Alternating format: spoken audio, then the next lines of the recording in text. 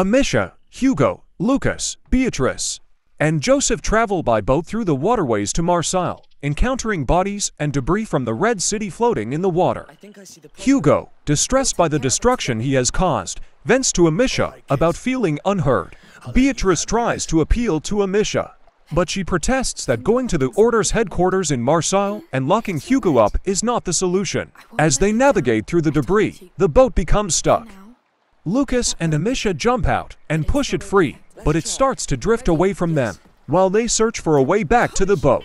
Amicia tells Lucas that the island is the key to curing Hugo's illness and warns him that he will soon have to choose between her and Beatrice. They eventually find the boat docked at a construction site, but their path back is blocked by rats. As they make their way through the construction site, Amicia is overwhelmed by the rats. Lucas throws her a piece of pyrite, which when struck against the ground creates sparks and keeps the rats at bay, saving Amicia's life. Lucas and Amicia work together smoothly as they pass through the construction site. What is this? Hurry! It won't last long! Back! Get back! They don't like it! When they return to the boat, they find it blocked by a chain running across the water a ferry. They realize they have to cross to the other side if they want to release it. Amicia can use the ferry to cross, but there is something stuck in the mechanisms beneath the dock. She ventures beneath the water and wades through a grotesque, corpse-filled environment, pulling a corpse out of the mechanisms. Lucas hauls the ferry over and Amicia rides it across. Amicia shoots down the ferry's counterweight, destroying the pontoon she and Lucas are on. Joseph tells them that he will dock at the floodgates ahead and they will have to find their own way back to the boat. Amicia has to cross a massive stone bridge that is still under construction to get back to the boat. Just as she has a clear path back, Lucas shouts for help, saying that he is being cornered by mercenaries. Amicia runs to the boat and takes up position behind Joseph's crossbow. She shoots the two mercenaries and helps Lucas back to the boat. Take your hands off him! Ah! How do you like that? Lucas, are you alright? I'm... I'm shaking like hell. Thank you. Arnaud, the leader of the mercenaries that Amicia has encountered in the Red City, rides on horseback on a cliff overlooking the boat.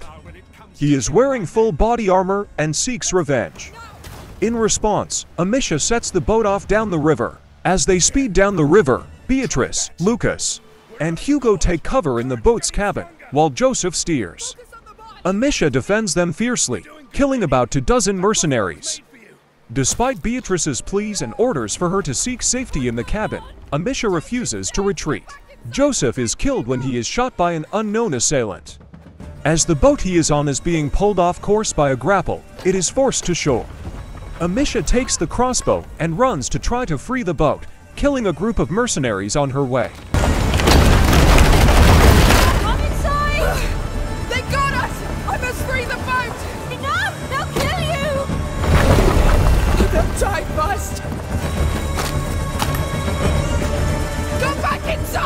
You want to fight! You stay away! Stay back! I'll kill the lot of you! However, Arnaud intercepts her, and she is unable to harm him due to his armor. She runs away, and Arnaud chases her before threatening to go after her family to draw her out. Amicia intercepts him as he reaches the shore and challenges him. Arnaud responds by hitting her on the head with the butt of his sword. Meanwhile, Lucas and Beatrice watch from the boat, with Beatrice trying to hold back Hugo. As Arnaud approaches Amicia for the killing blow, Hugo breaks free and runs towards them, summoning a horde of rats that chase Arnaud off. Better than that. Ah! Hugo! Look at that! Reinforcements!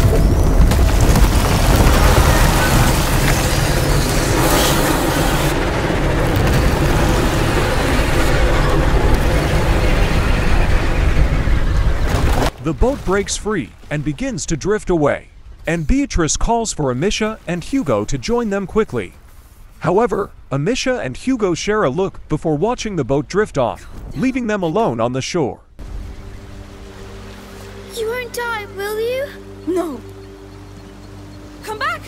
We did it first time!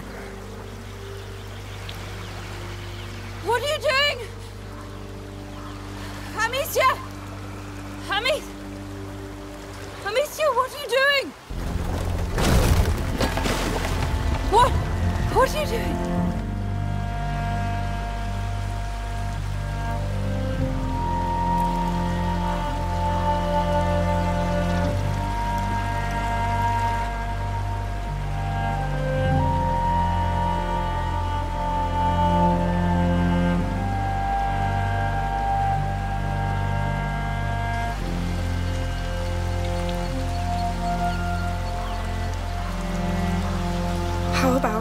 we go out to sea?